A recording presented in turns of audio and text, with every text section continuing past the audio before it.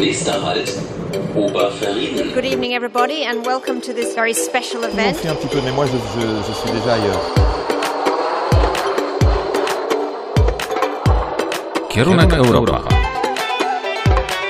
Audycja realizowana jest przez Punkt Informacji Europejskiej Europe Direct Słupsk przy współpracy z Bałtycką Galerią Sztuki Współczesnej, Słupskim Instytutem do Spraw Młodzieży, Powiatem Słupskim, Miastem Ustka, Gminą Słupsk, Gminą Kobylnica, Miastem Słupsk oraz Pomorską Agencją Rozwoju Regionalnego w Słupsku.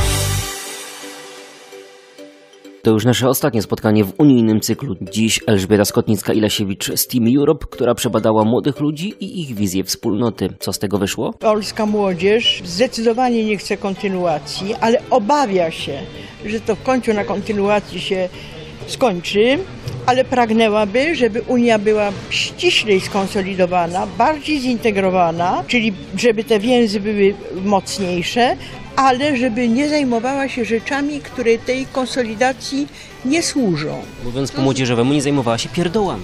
No wie pan, mnie osobie w moim wieku nie wypada y, używać tego, tego typu słów, ale po prostu, żeby się nie zajmowała rzeczami, które nie służą integracji, a mogą być świetnie wykorzystane na poziomie krajów, a nawet, a nawet y, często regionów. Kierunek Europa. O marzeniach to w ogóle kiepsko jest mówić z młodzieżą. Te marzenia na poziomie takim podstawowym są właściwie zaspokojone, ale generalnie uważają, że Unia powinna być silniej skonsolidowana i czego jeszcze więcej Unia może im dać, już niewiele, ale naprawdę jest czas, żeby coś młodzi ludzie dawali Unii, prawda? Żeby nie mieli tylko krytycznego ciągle stosunku, zresztą i do własnego kraju również, tylko żeby mieli poczucie potrzeby dawania również i łączenia się z innymi ludźmi.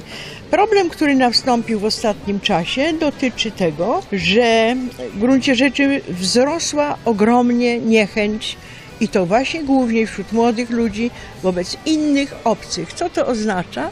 Oznacza, że właśnie mają osłabioną własną tożsamość. Nie bardzo wiedzą, kim są.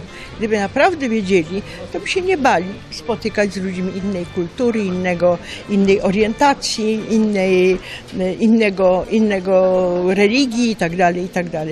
Jesteśmy straszliwie powierzchowni.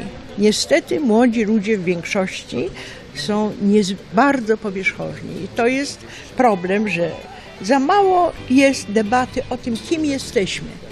Kim jesteśmy i kim my chcemy być. I wtedy będziemy wiedzieli dalej, o co nam też chodzi w Unii. Czyli silna Unia Europejska to silna nasza własna tożsamość. Nasza własna tożsamość, ale nie tożsamość zamknięta, obronna przed wszystkim, co do nas niepodobne, tylko tożsamość otwarta, która chce siebie o, w, w, w, jak, ze swoją tożsamością kooperować z innymi.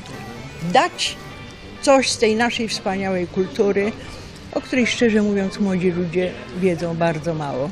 Projekt współfinansowany ze środków Unii Europejskiej w ramach dotacji dla punktów informacji publicznej, sieć punktów informacji europejskiej Europe Direct w latach 2018-2020.